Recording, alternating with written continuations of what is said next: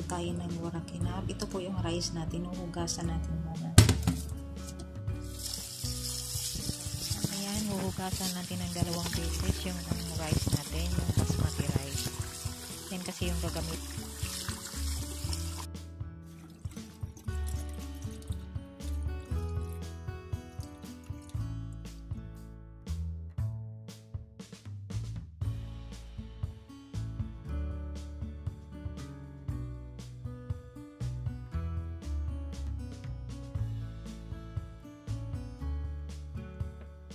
Yan, mag-start na tayo sa paggisa ng mga ingredients niya.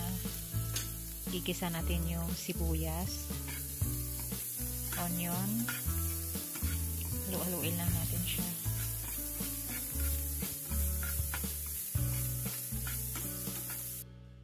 Pagkatapos, ilalagay natin yung kamatis, tomato, tapos parsley, tapos halo-haloin lang natin siyang mabuti.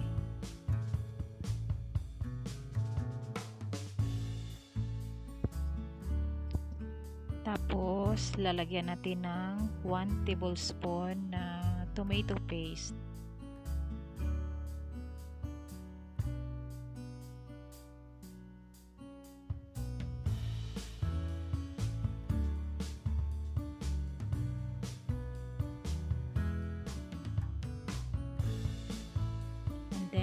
Lalagyan na ilalagay na natin yung rice natin. Ayan halu-haluin lang natin mabuti.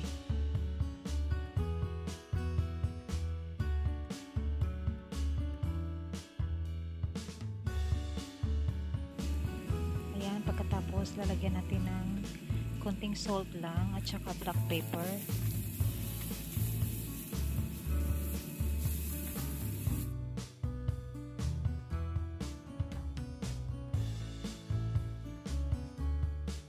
ito gugupitin natin yung ano yung dulo ng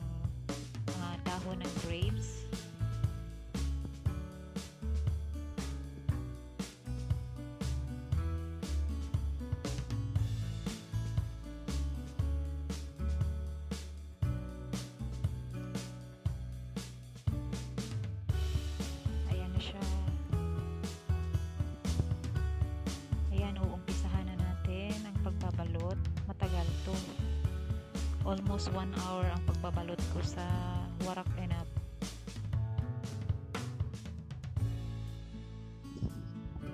ito yung paraan sa pagbabalot para madali mo siyang mabalot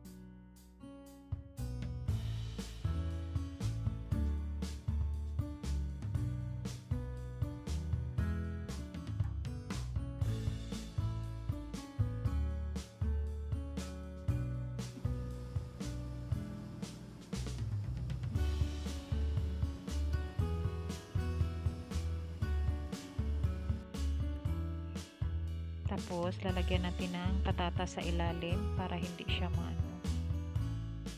Hindi siya mag-dry.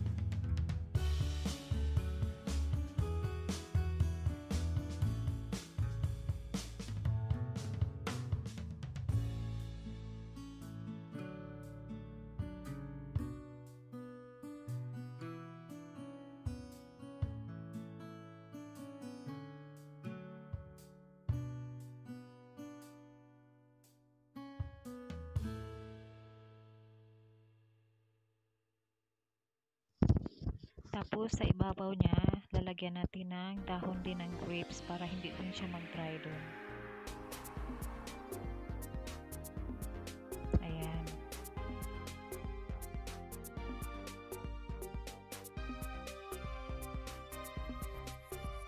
Then gagawa na tayo ng sauce.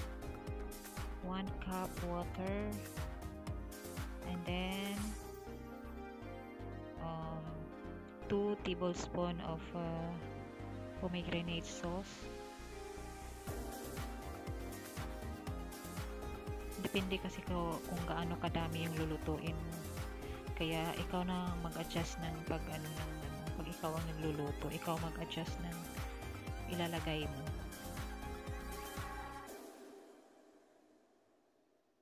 Ayan halo-haloin lang natin mabuti hanggat sa matunaw ang ating pomegranate tapos lalagyan natin ng 2 tablespoon of sugar.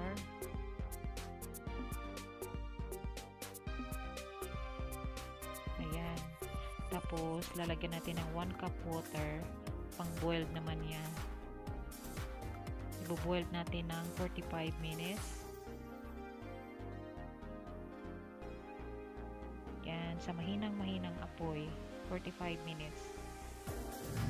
Tapos, after 45 minutes, ito na, ilalagay na natin yung ginawa nating sauce kanina, na pomegranate sauce. Ayan na siya.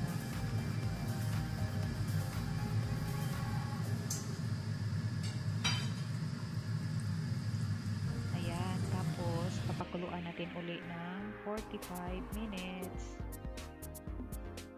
Sa mahinang-mahinang apoy lang din ayan na siya tapos na. Tingnan nyo hindi siya dry ang ano kasi tinakpan natin ng dahon ng grapes